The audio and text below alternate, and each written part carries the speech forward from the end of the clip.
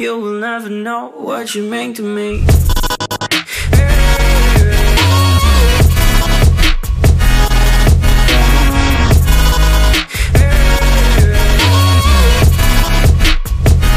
What you mean to me? My first tip will be in regards to presentation, so go into a casting with a natural look, not too much makeup.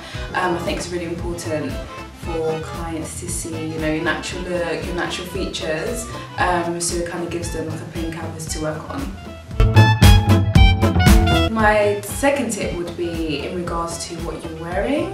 So I think it's important to go with uh, something plain, um, but at the same time something that showcases your personality and your style, whether, whether it be um, you know jazzing up with accessory like a bag or a jacket, um, just you know just to present a bit of yourself.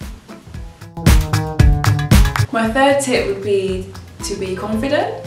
So as long as you know you you know yourself, you know your talent, you know what you can do.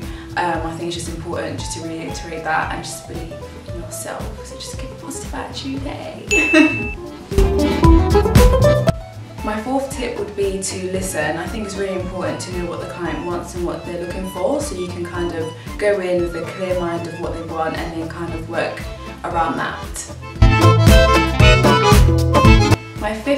Be to have a positive attitude when you're going to castings. Even if you know you've had a bad day, you've missed your train, it's raining, I think it's important, you know, first impressions are important and to kind of go in with a positive, positive attitude um, kind of sets everything off on a good note. My name's Saida and those are my top five tips on going to castings.